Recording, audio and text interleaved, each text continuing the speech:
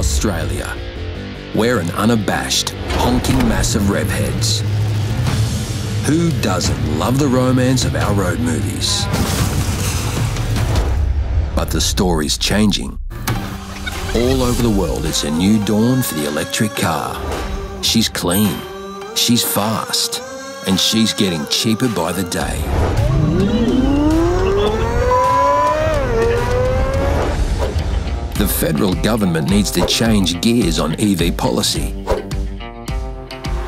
So here's where the rubber hits the road.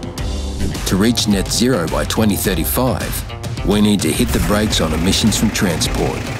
And EVs will play an important role. The rest of the world is speeding ahead.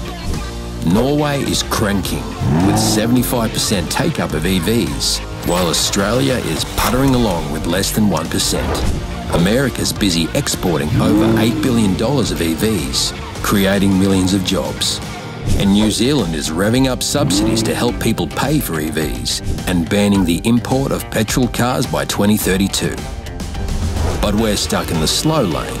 The feds aren't doing enough to encourage EV sales, develop infrastructure, and the best sellers aren't even available in Australia.